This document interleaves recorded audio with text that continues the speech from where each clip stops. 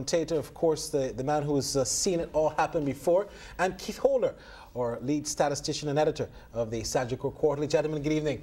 You know, Tony, you would say something like this to you. You've seen this happen before. This is nothing new. How would you assess these latest developments in West Indies cricket? Well, it's all West Indies Cricket Board. I mean, I think I see both of you here with, uh, with computers. Uh, just going to Google, put West Indies Cricket Board in there, and you'll see time and again the same thing that's happening now. How many chief executive officers have we had over the last 10 years? Mm -hmm. uh, how many corporate secretaries, if you want to put it that way? How many captains have we had? How many managers? It's just perpetuating.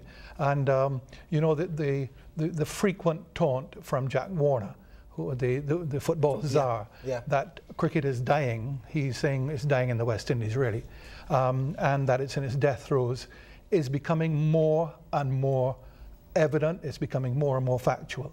Um, and what has happened in this past week is just another, another upheaval. Has nothing to do with cricket, has nothing to do with the standard of our cricket. It has to do with how many dollars were spent and were they spent on renovating the, the, the president's office in St. Lucia, mm -hmm. that type of thing.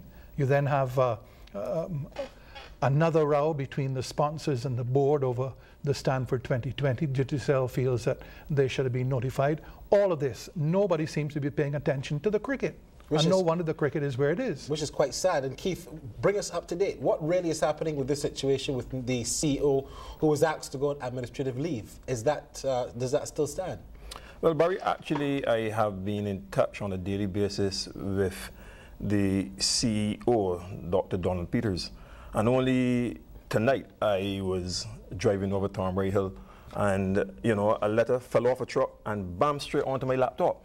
And without going into all the pros and cons, it actually has come from the lawyer representing Dr. Peters, mm -hmm. Tony Astaphan, who is a Queen's Counsel. Mm -hmm. And I think if I get an opportunity to read this letter, we will be able to put everything in perspective because he's, in a nutshell, saying Dr. Peters must be back on the job at 8 o'clock tomorrow morning. So Dr. Ah. Peters will return to, to the West Indies Cricket Board Well, tomorrow. he has written to the President and he says, as you know, I have been asked by Dr. Donald Peters, CEO of the WICB, to assist him in relation to your letter dated 25th of July 2008. The letter is dated the very day the board meeting ended in St. Lucia.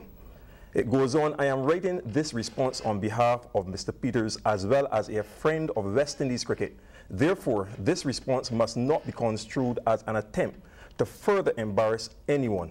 I do not intend at this stage to discuss or raise any issue in relation to the expenditure of funds by the board or the manner in which this expenditure was dealt with by all concerned. My sole concern at this time is the purported action of the president and board.